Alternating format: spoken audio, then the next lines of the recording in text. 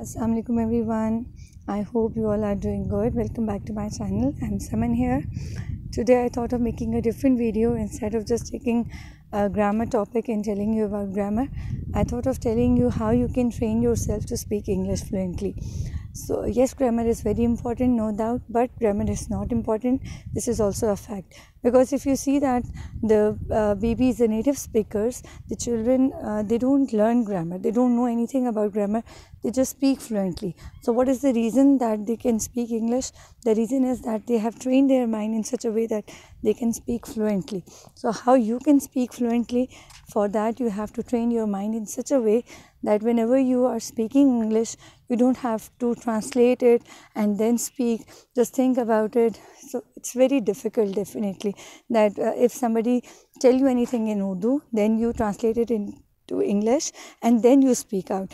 No, this is not the way if you want to speak fluently. If you want to speak fluently, you definitely you should train your mind in such a way that spontaneously it comes out of your mind you don't have to think about it so what is the uh, what is the thing that can help you to speak fluently the main thing is that the uh, the main thing that you have to train is just think in english. Whatever like you can say that i'm outside um, i'm just uh, today is sunday so i thought of coming outside and have uh, spend some time with my children. So uh, whatever i'm looking at or whatever whatever i'm uh, watching i have to uh, think in english. The more i think in english the more it will uh, help me to speak fluently. So what Uh, what you have to do is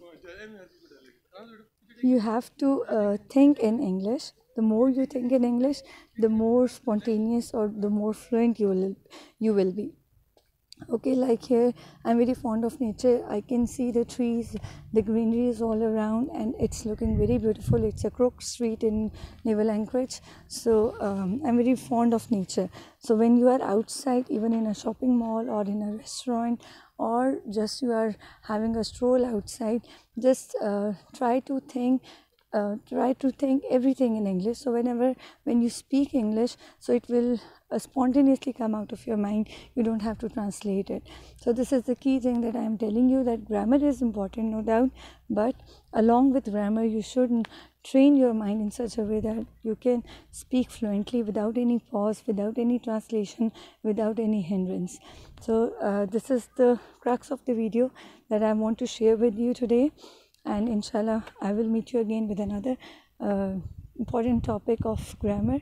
So have a good day. Allah hafiz